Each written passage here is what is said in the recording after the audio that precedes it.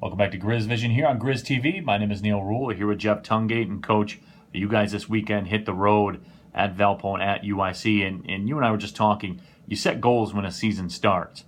Now, as you guys get down the stretch here, those goals are becoming real, and all that does is amp the pressure up with these uh, road trips coming up this weekend. Well, this is an important weekend for us, obviously, and you know we got to start off right with Valpo, and you know um, they came off a nice win against Northern Kentucky the other day, and, and it's going to be a real tough game for us at their place. And then UIC has been playing um, pretty well the last couple weeks too. So this is a huge, huge trip for us. Um, you know, considering we're picked seventh to begin the season, and we've got everything in front of us to, to have a pretty good seed heading into the conference tournament. Um, there's a lot to play for, and you know, I think if we come with the energy and and what we need for for to get the job done. You know, I, I feel good about this team, but um, you know, we're definitely gonna get tested this weekend. But it's it's two games that we have to win.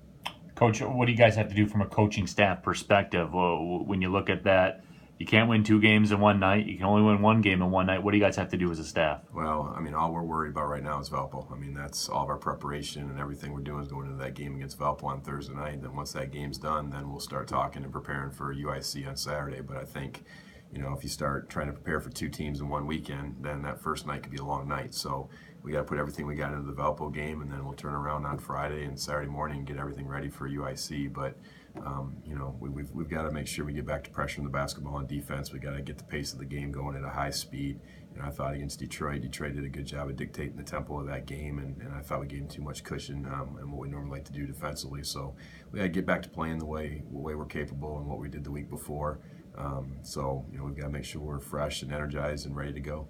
All right, coach. The kids call it turn up. So you guys looking to turn up this week? And you don't know about that though, do you? I let them worry about all that kind of stuff. I just want to win. all right, coach. Thanks for the time. Thank you.